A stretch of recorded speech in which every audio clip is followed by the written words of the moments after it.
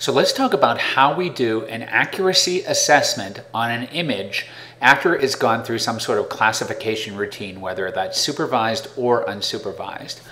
We need to do all of these things. We need to um, do ground truthing, and um, ground truthing, of course, would be first of all randomly or statistic or sampling locations, maybe random samples of points throughout the study area, and actually going and seeing what's on the ground there. Once we've done that, we can compare it with the um, pixel values and make an error matrix. And once we've done those things, we can actually assess the accuracy of our, um, of our study, oh, either the overall accuracy or these other two types of errors that we'll talk about later. But let's start with, um, after we've done the ground truthing, how do we build an error matrix? This would be a simple example of an error matrix here. Um, along the top here, we put our field measurements. This was what's measured in the field.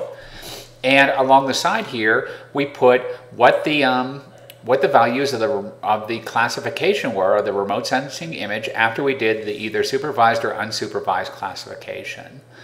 Then for each of these, we see how often um, we were right. So in this example here, when we went out into the field of all of these points here, of all the 40 points we looked at, we found three that fell right on top of conifer forests.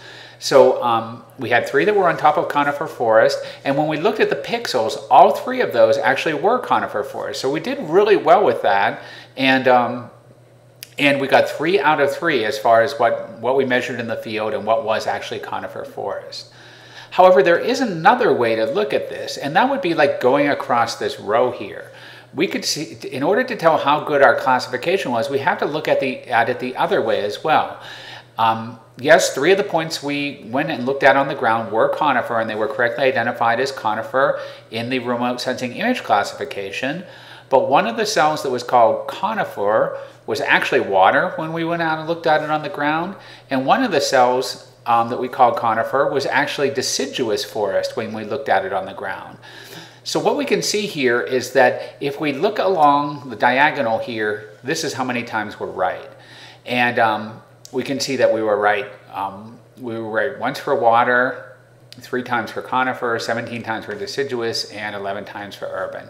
And then once we, um, we can play with these different numbers in different ways in order to assess our accuracy, but the important ones are how many times we're right in each case, and then the overall number of samples we have here. And in this case, we would have 40 samples, which we will get if we just either sum the uh, rows or the column, the bottom row or the um, right rightmost column, we'll get that same number 40 because that's how many samples we had in our total um, in our total ground truthing or um, field survey.